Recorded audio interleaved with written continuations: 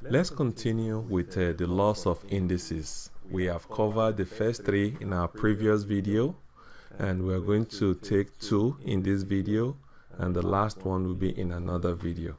So looking at uh, the fourth one, we have k raised to the power minus n.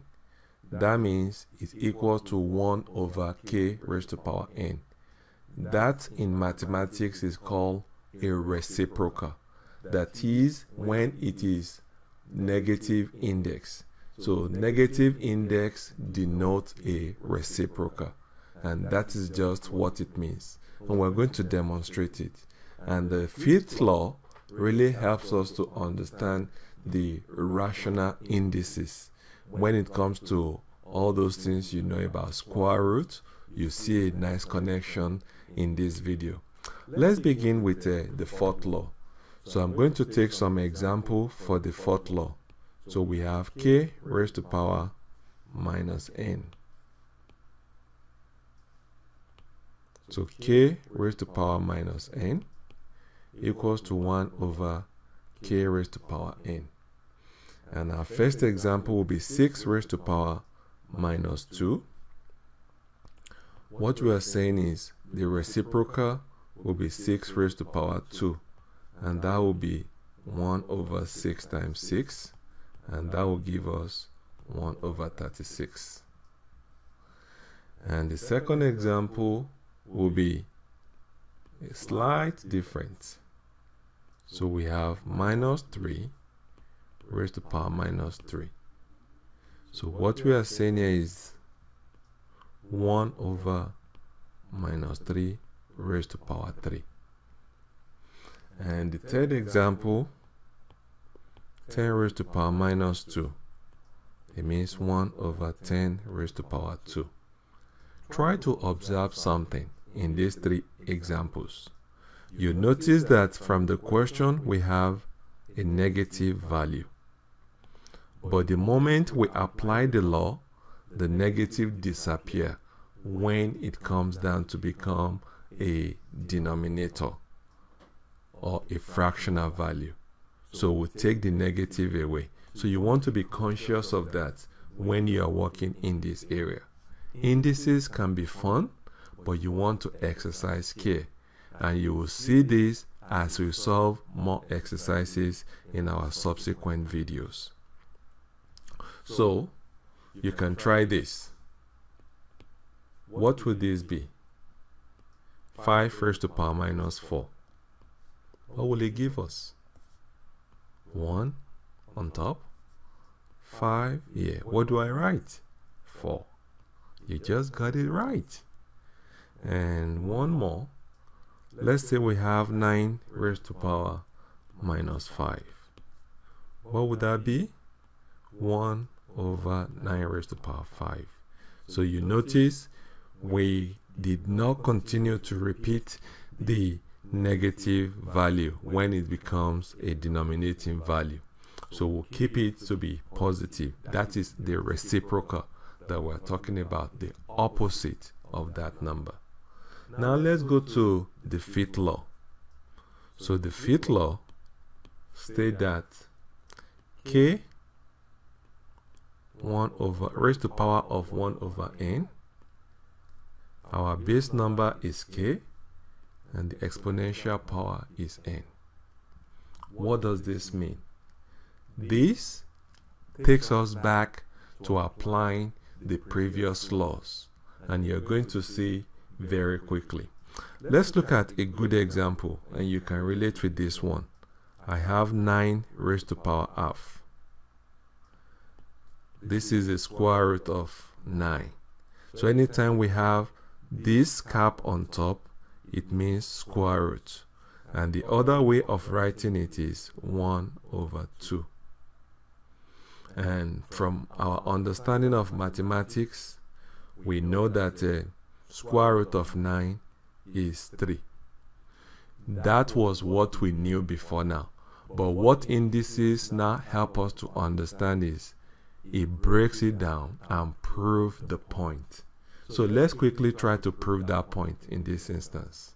So how is our square root of 9 equals to 3? So the first thing we find out is the factor of 9.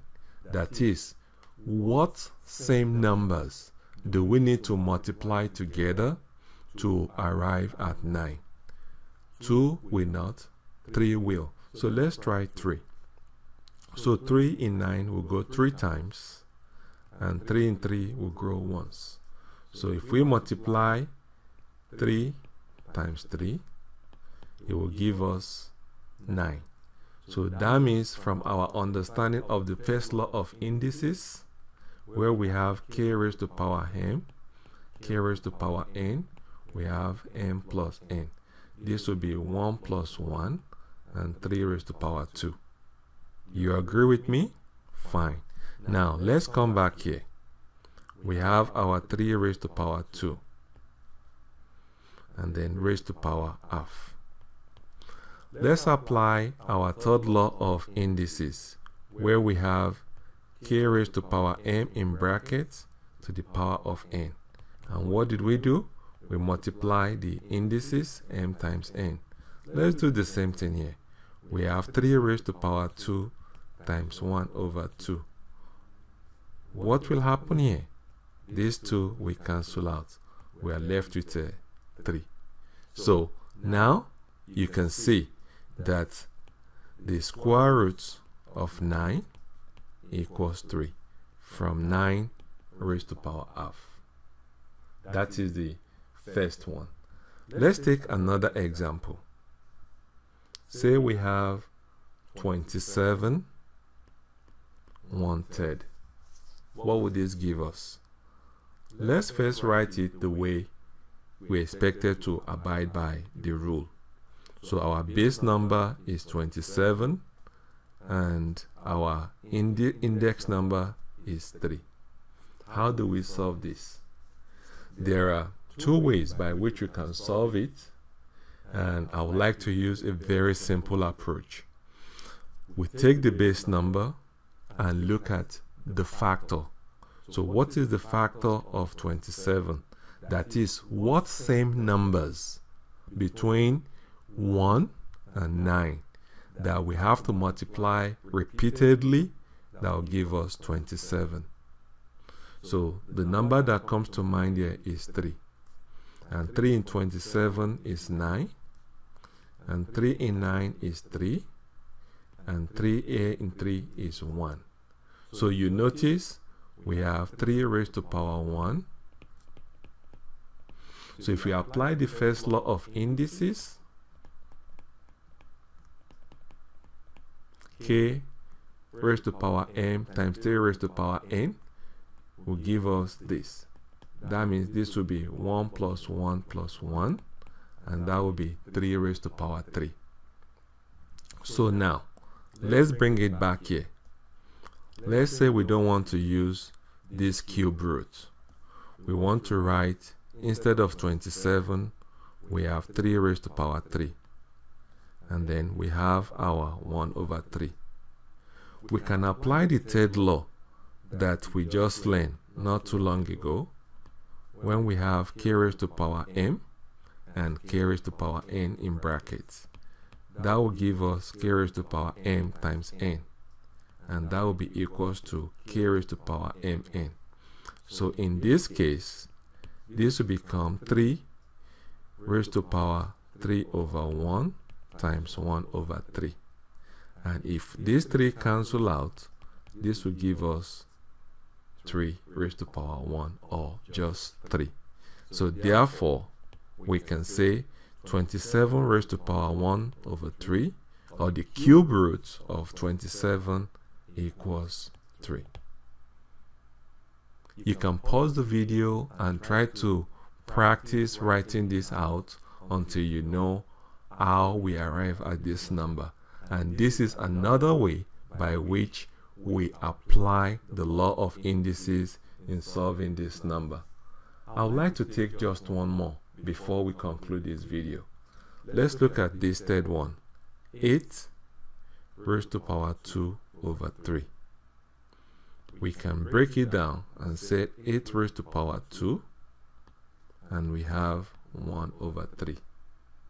Whereby we can write the base number as 8 squared and put the cube root outside. So to solve this further, we can further break the numbers down and that way we'll be able to expand what we're talking about. So in this case, we have 8. We look for the factor of 8. What same numbers do we need to multiply together to give us 8? 2 comes to mind. This gives us 4. 2 in 4, 2. And 2 into 1. So we have 2 times 2 times 2. And that is a 2 raised to power 3. So we can bring our 2 raised to power 3 here. And these two here to give us 1 over 3 and that will be 2 raised to power 6 I 1 over 3 and that will be 2 raised to power 6 over 3 and 2 raised to power 2 and the answer will be 4